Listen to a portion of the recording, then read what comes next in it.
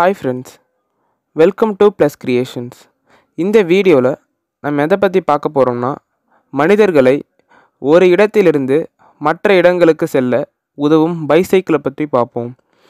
இந்த பைசைக்கிளில் அப்படி என்ன ஸ்பெஷல்னு பார்க்குறீங்களா?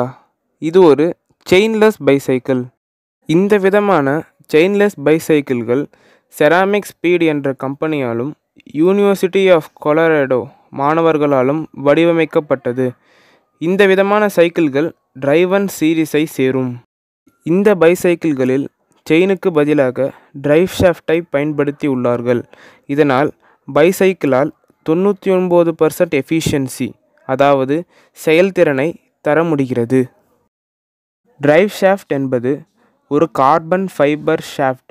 இந்த ஷாஃப்டின் இருபுறத்திலும் இருபத்தி ஓரு லோ ஃப்ரிக்ஷன் செராமிக் பியரிங்ஸ் அதாவது குறைந்த உராய்வு பீங்கான் தாங்கு உருளைகள் உள்ளது.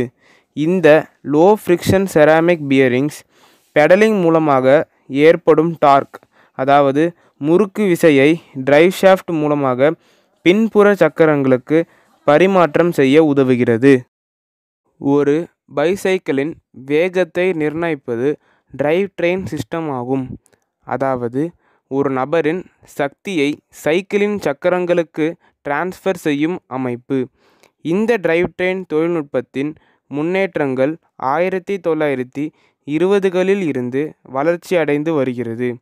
மேலும் டிரைவ் ட்ரெயின் தொழில்நுட்பம் செயின்களில் இருந்து டிரைவ் ஷாஃப்ட் கருவியாக வளர்ச்சி அடைந்துள்ளது இந்த விதமான டிரைவ் ட்ரெயின் தொழில்நுட்பத்தால் மனிதர்களால் பெடலிங் மூலம் உருவாக்கப்படும் சக்தி எங்கும் இழக்கப்படவில்லை.